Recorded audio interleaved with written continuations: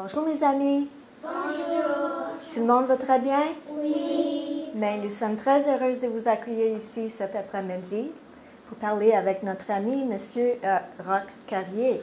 Puis sûrement vous connaissez son, son livre, Le chandail d'hockey. De hockey. Merci pour me corriger. Alors, on est ici aussi pour euh, célébrer la bibliothèque Fraser Hickson. Euh, moi, euh, j'ai fréquenté souvent la bibliothèque Fraser Hickson quand j'étais une petite fille. Alors, euh, nous reviens dans la communauté avec un autre projet, avec des mini-bibliothèques, et on va y aller vers vous. Monsieur Carrier nous appuie fortement dans nos projets et on espère qu'on va pouvoir vous aider dans vos programmes, euh, puis à vos écoles, c'est ce que vous aimeriez faire. Alors, ce que je vais faire maintenant, je vais vous laisser parler avec Monsieur Carrier. Vous pouvez poser n'importe quelle question, puis vous pouvez aussi discuter le livre si vous voulez. Ça va? Enchanté. Merci. Merci Allez-y. beaucoup de m'accueillir et merci d'être venu. Vous avez marché, vous avez pris l'autobus, vous avez pris la voiture, vous avez conduit la voiture. Tu as conduit la voiture? Oui? non. Voilà. Je vous propose quelque chose. J'aimerais beaucoup, beaucoup, beaucoup que chacun de vous me pose une question.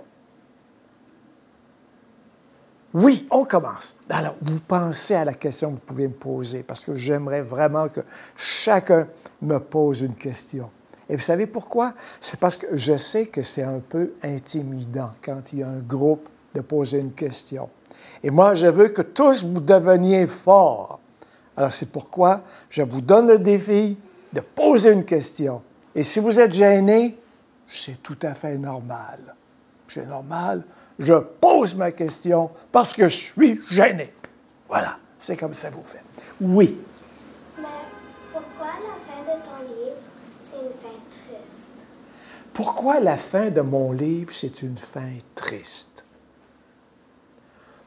Tu vois, j'étais petit garçon, une dizaine d'années, quelque chose comme ça, on- 9 ans, peut-être 10 ans.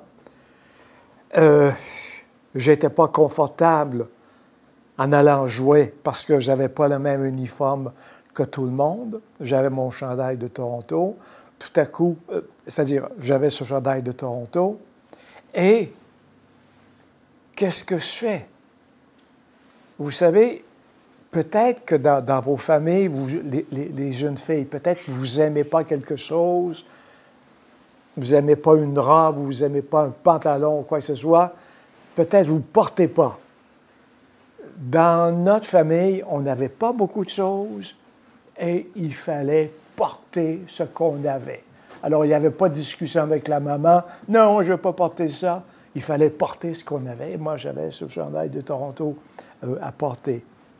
Donc, je savais que je ne pouvais pas avoir un autre chandail. Et c'est pourquoi la- tout ce qui me restait à faire, c'était de prier que quelque chose vienne me débarrasser du chandail que je n'aimais pas.